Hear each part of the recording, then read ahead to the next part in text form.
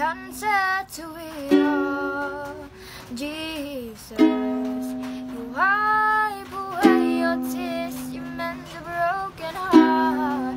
You're the answer to it all, to it all.